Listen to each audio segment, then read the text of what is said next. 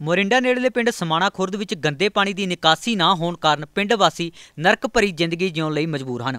ਪਿੰਡ ਵਿੱਚ ਫੈਲ ਰਹੀ ਗੰਦਗੀ ਕਾਰਨ ਕਿਸੇ ਸਮੇਂ ਵੀ ਭਿਆਨਕ ਬਿਮਾਰੀ ਦੇ ਫੈਲਣ ਦਾ ਖਤਰਾ ਬਣਿਆ ਹੋਇਆ ਹੈ। ਇਹ ਪਾਣੀ ਦਾ ਹੋਣਾ ਹੈ ਜੇ ਟੋ ਜਗ੍ਹਾ ਖੁੱਲੀ ਹੋਊਗੀ ਟੋਬੇ ਖੁੱਲੇ ਹੋਣਗੇ ਤਾਂ ਪਾਣੀ ਰੋਕਿਆ ਜਾ ਸਕਦਾ ਹੈ।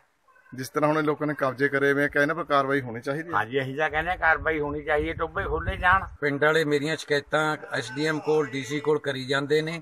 ਇਹ ਜਿਹੜਾ ਟੋਬਾ ਹੈ 7 ਵਿਗੇ 5 ਵਿਸੇ ਦਾ ਟੋਬਾ ਹੈ ਜੀ, ਇਹ ਬਿਲਕੁਲ ਰੋਕ ਲਿਆ ਗਿਆ ਹੈ। ਇੱਕ ਵਿਗੇ ਦਾ ਟੋਬਾ ਬਚਦਾ ਇਹਦਾ ਅਸੀਂ ਦੋ ਵਾਰੀ ਪਾਣੀ ਵੀ ਕੱਢ ਲਿਆ, ਖਾਲੀ ਕਰ ਲਿਆ।